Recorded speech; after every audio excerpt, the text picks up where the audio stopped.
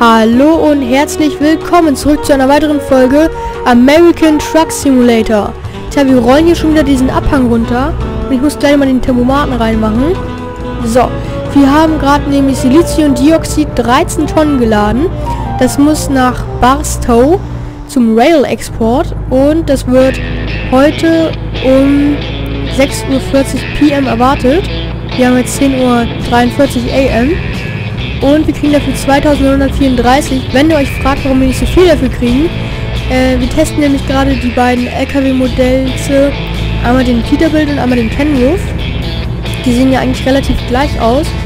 Und ähm, ja, das eine Manko beim Kenworth war, dass man nicht sieht, wenn eine Motorbremse hat. Aber ich finde den hier vom Äußerlichen nicht so schön. Dafür hat er aber die Anzeige von der Motorbremse. Und ähm, ja, da sind wir halt gerade mal am gucken, welchen wir hiervon jetzt wohl nehmen. Weil ich finde die mit der langen Schnauze eigentlich schön, aber die sind für YouTube nicht so gut zum Aufnehmen. Oder für andere Plattformen, wo man irgendwas aufnimmt. Da sind die auch nicht so gut für. Und ähm, ja, noch irgendwas? Nee. Ja, dann fahren wir mal auf auf dem Highway hier. Und machen den Thermomaten mal wieder rein. Hier ist die Thermomatenanzeige auch ziemlich klein. Die sind hier irgendwie in allen LKWs ziemlich klein. Da vorne ist wohl ein Flugzeug. Erinnert mich irgendwie an den Farm-Experten, wo ich ja leider Bluescreen hatte beim Starten und der seitdem nicht mehr startet. Naja, kann man leider nicht ändern wahrscheinlich. Ich kann es ja nochmal ausprobieren, aber ich denke mal, da wird nichts kommen. Höchstens ein Bluescreen wieder. Und das ist ja auch nicht schön für den Computer, glaube ich, ne? Also, so oft werde ich es auch nicht ausprobieren.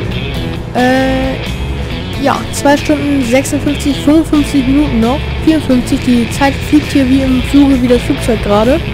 Und hier müssen wir schon wieder auf die Abfahrt rauf, sozusagen, auf, auf die Abfahrt rauffahren. Auffahren, auf die Abfahrt, naja. Ach, äh, und da müssen wir jetzt links, nicht so die ganzen Transporter hier. Oh Gott, ey. Warum? So, da kommt gerade einer. Dich lasse ich mal durch, Kollege. Das ist nämlich so einer, wie der dann aussehen würde mit einem Auspuff, was ich letztens meinte. So, dann fahren wir hier mal rum. Und da haben wir unser Anhänger auch hinterhergezogen. Der sieht nämlich wie folgt aus. Und so sieht unser Anhänger aus. Hat so ein paar Steine drauf. Und ja, das ist gerade der LKW, den wir haben. Ich halte bei der nächsten Tanke mal an, um zu gucken, wie der von außen so aussieht. Ähm, weil der hat jetzt ja keinerlei Aufbau. Und äh, bei diesem hier stört mich, dass er nicht so nicht so ähm, schnittig aussieht, weil der andere hat noch so, so zwei hervorstechende Kanten am, am, an der Motorhaube, finde ich. Und der hier hat das nicht so. Hier, guck mal, kommen wir gerade sowieso nach Bakersfield. Also ich fahre zu einer Tanke, die auf dem Weg liegt, ne? Ich fahre jetzt nicht extra links darüber, um dann dahin zu fahren. Spätestens beim Abgeben von einem Anhänger oder beim Abliefern können wir uns hier nochmal angucken. Oh Gott. Hab schon gedacht, jetzt wären wir geblitzt, aber sind wir tatsächlich dann auch geworden. Oder geblitzt worden. Geblitzt-Dings sind wir jetzt. Von der Polizei. Ich drück auf die Tube, ich muss ja noch rüber. Eieieiei. Ach, gut. Das Rot haben wir noch nicht mal gesehen. So, hier war ja das große Tralala wegen dem LKW-Händler aufdecken. So. Dann haue ich hier gleich mal... Ne, ich will den Tempomat nicht reinmachen, weil da vorne sowieso gleich wieder 55 ist. Ja. Oh, hier geht's links rüber. Na, lässt uns auch noch vor. Danke. Sehr nette Leute hier in Bakersfield. Jedenfalls im Spiel. So, und dann können wir hier mal ordentlich auf die Tube drücken mit unserem Tempomaten. Jetzt sind wir hier auf der, auf der Street, denke ich mal. Wie heißt denn das überhaupt, wenn es auf dem Land ist? Wenn ihr es wisst, schreibt es mal bitte in die Kommentare. Äh, weil Highway ist es ja nicht wirklich, oder? Keine Ahnung, wie das heißt. Auf jeden Fall sind wir hier auf der Nummer 58 und dürfen hier 55 fahren. Jo, jo, jo, jo, jo. Jetzt gib mal Gib mal Gas hier. Ja, was los? Mann, Mann, Mann. Die sind gemeingefährlich, die Busse.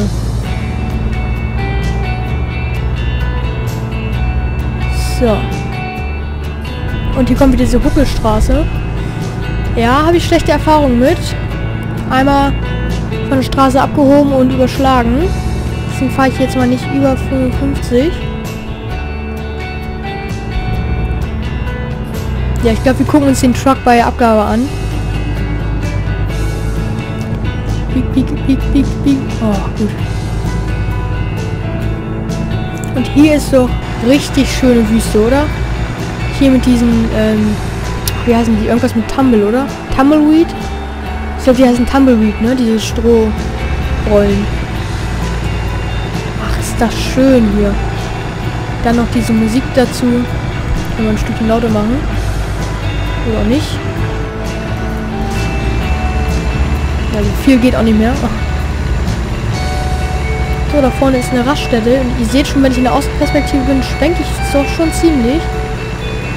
Das ist nur, weil ich in der Außenperspektive bin. Und wenn ich jetzt hier bin... Oh Gott, oh Gott, oh Gott. Das sieht immer so eng aus. Warte, hier halten wir mal an.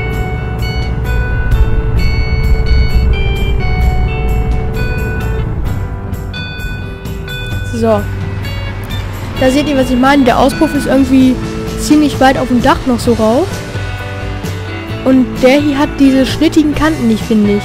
Außerdem finde ich den Kühlergrill nicht so prickelnd. Also vom optischen her würde ich doch eher zum Kenwurf tendieren. Und hier ist der Anhänger auch von der Coastline Mining Gesellschaft.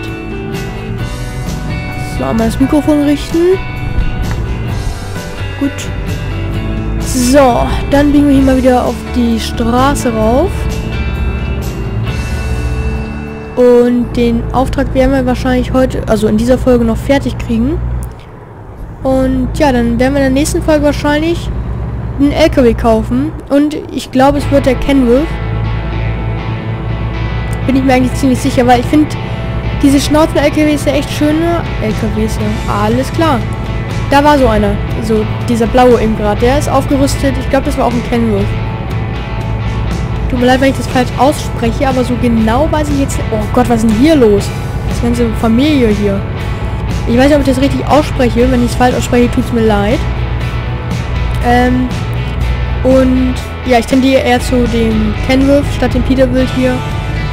Weil da sind einfach viel mehr Sachen dran, die ich schöner finde. Und ja, zum Aufnehmen ist er einfach besser, so einer mit kurzer Schnauze und sowas. Man hat mehr Blickfeld und so weiter und so fort. Ich glaube, ihr wisst, was ich meine. Wenn ihr mal sehen wollt, müsst ihr es einfach in die Kommentare schreiben. Dann, ähm, ja, geil gebremst auf jeden Fall. Dann können wir ja nochmal irgendeine so Mission spielen. So eine schnelle Mission. Also einfach in die Kommentare schreiben und dann können wir es auch mal durchziehen. Also natürlich auch, vielleicht wollt ihr ein besonderes Modell sehen. Das müsst ihr natürlich auch reinschreiben, das kann ich ja nicht machen. diese Kreuzung, die hasse ich, ne? Da kann man sich so viel prozentigen Schaden... Mensch, Mädel, enger ging's nicht, oder wie? Jetzt fahr doch auch. Du auch. Nicht. So, die Spur schon gesperrt. Hallo, ich möchte mich hier gerne einreihen. Okay. Gas stehen. Bremsen. Komm schon. Ja. Oh, der sieht immer so eng aus. Oh. Oh, das wollte ich nicht. Ich wollte nicht mal nach vorne rutschen. So, jetzt aber. Mensch, war das eine schwere Geburt, ey. Gott, oh Gott, oh Gott. Diese Kreuzen finde ich noch am gefährlichsten. Und warum leitet er uns hier auf die Tankstelle? Ach nee, nee, macht er gar nicht. Ich dachte, er leitet uns auf die Tankstelle, weil links ist ja auch ein und deswegen sah das so aus, als würden wir jetzt rechts auf die fahren. Hier waren wir öffentlich, öffentlich offiziell auch schon mal, wie es aussieht. Das Geld hinterlegt. Und da vorne müssen wir die Abfahrt nehmen. Also nächste, äh, was sagt das Navi immer? Nehmen Sie die nächste Abfahrt rechts. Und dann rechts halten. Und dann äh, links. Und dann rechts. Das ist schon wieder so eine Umgehung. Wenn wir dann schon wieder bei Huron sind, dann weiß ich auch nicht. Oh, nicht zu schnell. Ach, sind wir sowieso nicht. Ähm, ich weiß, kann auch geblitzt werden, wenn man zu langsam ist. Das würde mich interessieren. Na, der Pickup will da natürlich auch hin. Aber er will nach rechts, oder? Ja, sehr gut. Dann können wir hier mal ein bisschen Schwung mitnehmen. Boah. Mensch, Mensch, Mensch. Und uns da hinstellen. Der sperrt da für uns ab. So, hier mal flicks die Kurve. Und so. Genau, und so.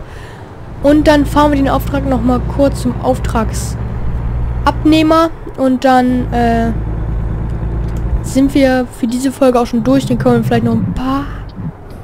Oh Gott. Ich will gucken, ich will gucken, ich will gucken. Hm.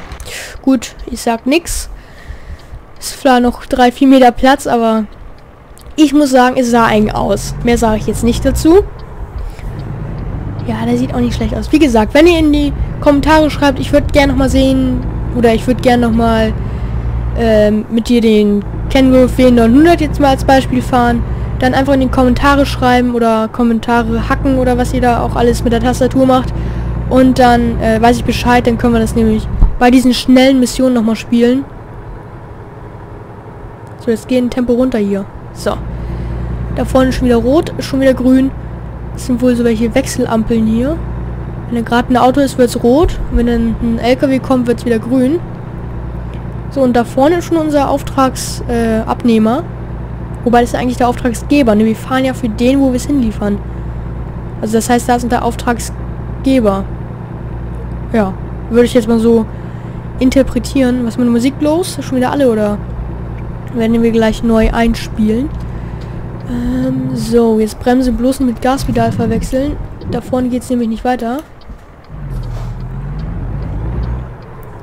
Jo, Kollege, ich biege hier mal kurz ab, dann hast du mehr Platz zum Abbiegen.